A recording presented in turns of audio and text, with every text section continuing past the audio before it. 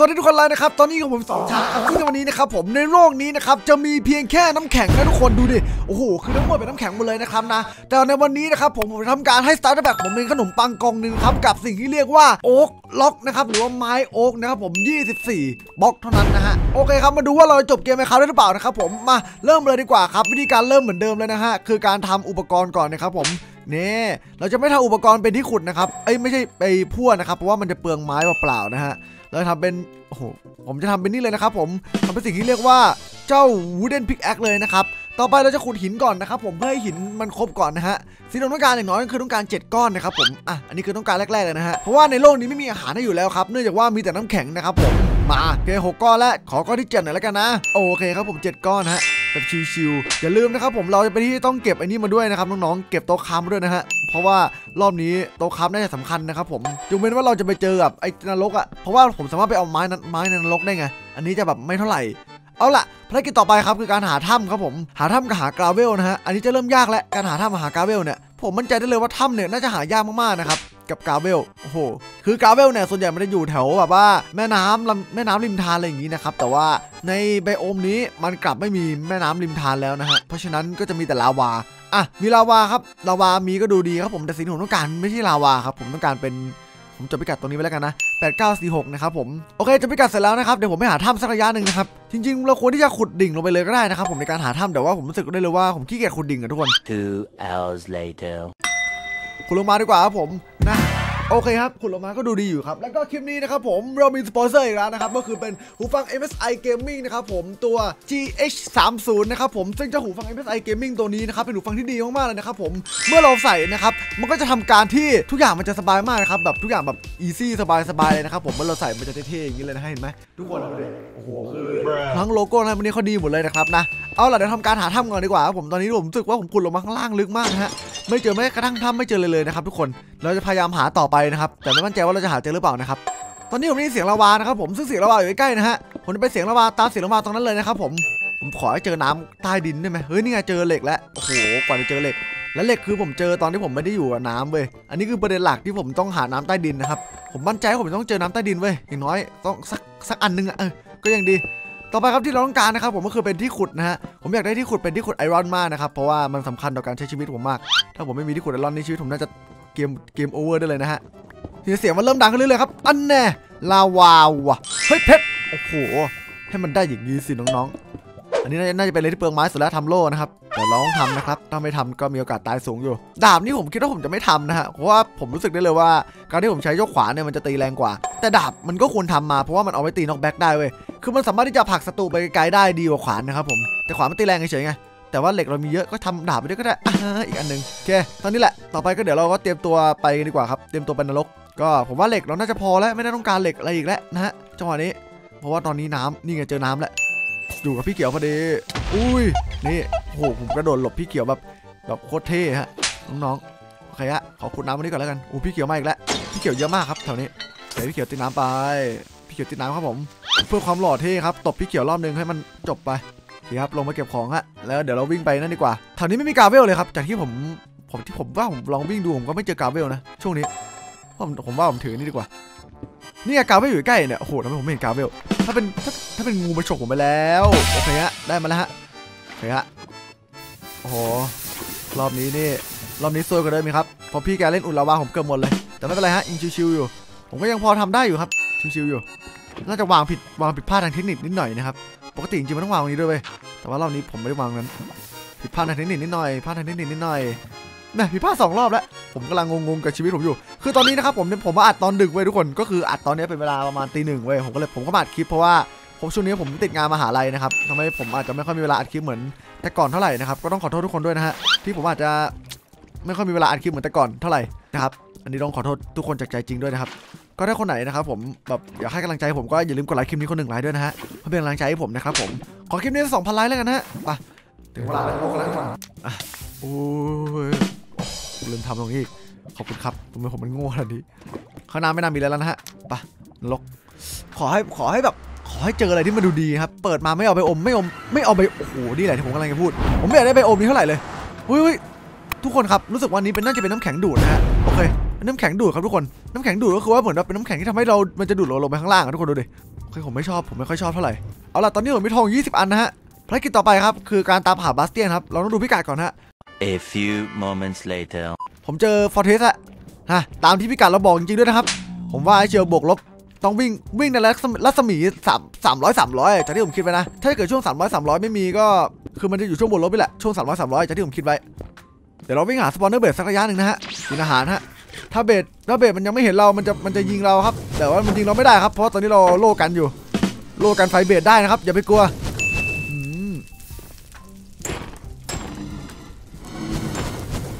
เคฮะเอาถ้าเกิดมันขึ้นไฟเนี่ยเอาโล่กันเลยก็ได้ครับป้องกันอันตรายไว้ก่อนความอันตรายของมันคือการโดนไฟมันฮะเพราะว่าไฟมันนรกเนี่ยมันเผาเราได้แล้วมันเผาแรงด้วยอะไรเราโหผมไม่ค่อยอยากโดนเพราะว่ามันเผามันเผามันเผาแล้วมันนรกมันมันดับไฟไม่ได้ทุกคนเนี่ยอันนี้คือสาเหตุหนึ่งเลยที่ผมไม่ค่อยอยากสู้กับเบสแต่แต่ถ้าจำใจต้องสู้ก็เอาวะ ได้อยู่ ได้อยู่ ได้อยู่แปลว่าไม่ได้จริงๆนะเดี๋ยวโอ้โห โอ้โห โอ้โหโหสัตว์โชคดีนะเนี่ยวันนี้ผมบอกเลยว่าโชคดีที่ผมเอาเกาะมานะ ถ้าผมไม่เอาเกาะมาที่ผมอาจจะตายไปแล้วก็ได้นะเนี่ยไฟ ไฟ ไฟมันแรงจริง ไฟมันแรงจริงทุกคน ไฟมันแรงจริง เฮ้ย นี่ไงแถวนี้มีหมูอยู่เต็มเลยฮะ โอเค โยโยโยโยอันนี้มาอันนี้มาอันนี้มานี่มาโอเคฮะผมต้องผมต้องทำการลอดเอาทองเอาทองเอาทองให้พี่แกครับโยนเข้าไปข้างในนี่ฮะเดี๋ยวพี่แกจะวิ่งลงไปเอานะครับโอเคอู้โซสปีดแต่ผมไม่ได้ใช้ว่ะเอาผมเอาทองโยนให้พี่แกไปข้างล่างทั้งเยอะแยะพี่แกไม่เอาทองเฉยแลกมาโอ้โหยิงจากไหนเนี่ยอันตราย ยิงใส่ผมเฉยอะไรวะเนี่ย อันนี้คือเกิน อันนี้คือเกิน ผมก็สามารถเป็นมิตรแล้วได้แก๊สยิงผมเฉยเลยก็น่าเกลียด โอเคครับ แรกอันสุดท้ายฮะ ผมหวังว่าจะเข้าใจเด้อเพื่อผมมาของกระจอก มา โอเค สุดท้ายครับ บาสเตียนได้เป็นทางออกของเราแล้วนะฮะ เพราะผมขี้เกียจมานั่งขุดทองทีละนิดทีละหน่อยนะครับ นั่งขุดทองทีละนิดทีละหน่อยนี่ผมรู้สึกได้เลยว่าทางออกผมน่าจะเป็นบาสเตียนอย่างเดียวละ โอเค ผมไปฮะเกือบตก นึกว่าตกตายไปแล้วนะผมเนี่ย ว้าว นั่นแหละ ประกายของผม ผมต้องหาทางไปจัดการมันให้ได้ ซึ่ง how นั่นคือยังไง ถ้าตกไปคือตายนะครับ ตกไปคือตายนะครับ อันนี้คือประเด็น ประเด็นคือตกไปตาย ผมจะพยายามปลอดภัยให้ได้เร็วที่สุด ผมจะไม่ตกไปข้างล่างเด็ดขาด หวังว่าจะทำได้นะ น้องๆ ดูไว้ครับ น้องๆ นี่คือมันเป็นสุดยอดอืมผมไม่ได้สุดยอดนักพีผมไม่ได้สุดยอดนักเล่นไมค์ครับแต่ผมเล่นเป็น เอาละมาครับถึงเวลาบุก bastion แล้วฮะการบุก bastion ที่ยากที่สุดครับคือการหาทองครับอันดับแรก เหมือน Assassin's Creed เลยทุกคนเล่นเหมือนเราเล่น Assassin อะคือเราต้องโฟกัสก่อนนะว่าของที่เราต้องการอยู่ไหน เมื่อเรารู้ว่าของที่เราต้องการอยู่ไหนแล้ว ทุกอย่างจะเริ่มง่ายแล้วเพราะตอนนี้หมูจะหมูยังไม่ตีเลยเพราะคิดว่าเราเป็นคนธรรมดาพูดเดียวกับมัน แต่เราต้องหาสิ่งที่เราต้องการก่อนนะฮะก็คือพวกของที่เราต้องการก็ค่อยลงนะครับเพราะว่าตอนนี้ผมสิ่งที่ผมต้องการคือบล็อกทองฮะทองที่เป็นบล็อกบล็อกอะเอออะมาดูกันครับทองที่เป็นบล็อกบล็อกอยู่ตรงไหน ตอนนั้นมีหีบอยู่ฮะแต่ตรงนี้มีหมูอยู่เยอะอยู่ ซึ่งถ้าผมไปบุกหมูตอนนี้ ผมโดนหมูผมโดนหมูแดกแน่อย่ามีทองแค่บล็อกเดียวเองเหรอ ที่นี่ผมรู้สึกว่าทองมันน้อยให้ให้ผมโคตรน้อยเลย อันนี้บางทีก็ให้น้อยไป ตกแล้วไป ตกลงไป ตกลงไปแล้วไม่ต้องมายุ่งกับกู ตกแล้วก็ตายไป โอเคเจอ obsidian แล้วทุกคน ตอนนี้ถึงเวลากลับบ้านแล้วฮะ โอ้ที่ผมต้องการในปราสาท piglin ที่สุดก็คือ obsidian ครับ ผมแค่อยากกลับบ้าน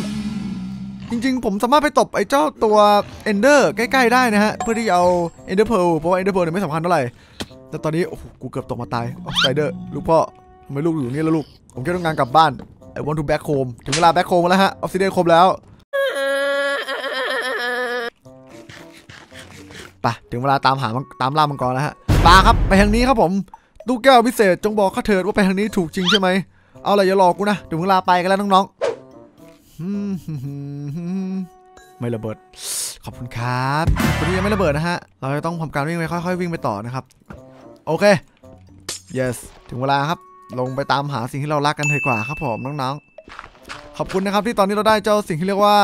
ตัวของ Diamond Pick Diamond Shovel ด้วยนะฮะทำให้ทุกอย่างมาดูง่ายลงอู้มาถึงเจอเลยว่ะไม่รู้เอาล่ะภารกิจที่ยากที่สุดฮะ การหาหานั่นแหละ อุปกรณ์แห่งความยาก ไปหายังไงเนี่ย ชิบขายแล้ว โอ้ ตายตายตาย เอาผมหลงทางแน่รอบนี้วู้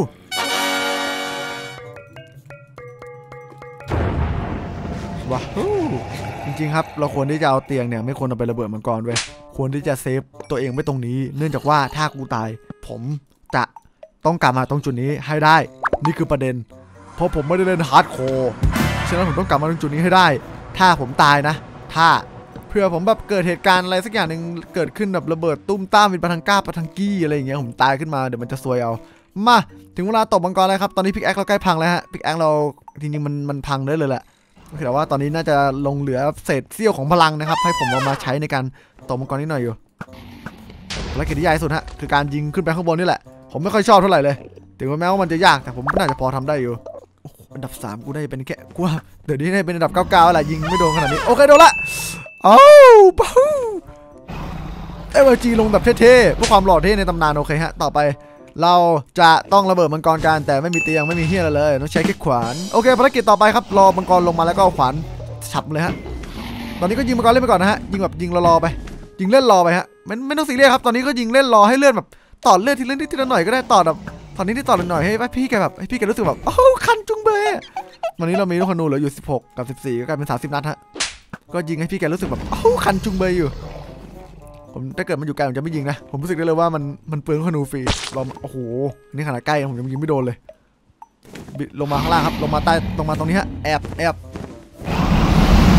แอบพวกเขามาแน่นอน แอบพวกเขามาแน่นอนแอบพวกเขามาแน่นอน แอบ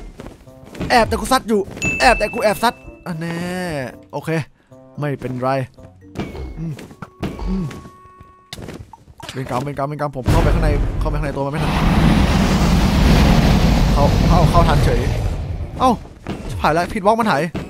ไม่เป็นไรผมจะพยายามตบด้วยความชำนาญผมว่ามันต้องอยู่ตรงนี้มั้งตบตรงนี้ก็ได้ตบตรงนี้ก็ได้อะหัวมันหายเฉยเลยฮะรอบนี้อะแต่ผมไม่โดนบินเป็นเรื่องที่ดีโอ้โหลงมาแล้วมนัดสุดท้าย แล้วก็แอบใต้เท้าครับ รอมันลงมาแบบสุดๆ กดชิปล่อไว้ฮะเพื่อความหล่อเท่จบว้าวก็กระจก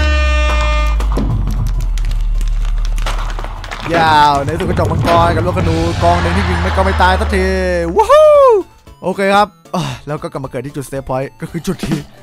โอเคครับผมก็คลิปนี้ขอบคุณทุกคนที่ดูมากเลยนะครับในที่สุดเราก็ทำ challenge สำเร็จนะครับผมถือว่าเป็นเรื่องที่ยากมากๆนะฮะแต่ก็พอได้อยู่ นะครับแต่ที่มันทำให้ผมรู้สึกว่ามันง่ายเพราะว่าผมน่าจะมีไม้เริ่มต้นกับอาหารเริ่มต้นให้ครับผมถ้าไม่มีอาหารเริ่มต้นน่าจะเป็นอะไรที่ ผมว่าน่าจะเป็นแบบ impossible เลยนะครับเพราะว่ามันไม่มีไม้ให้นะฮะถ้าเกิดอยากหาไม้ก็คือแบบต้องมาหาในอัลบั้มไม้อะไรเงี้ยซึ่งแบบโอ้ศูนย์เปอร์เซ็นต์อะเนาะ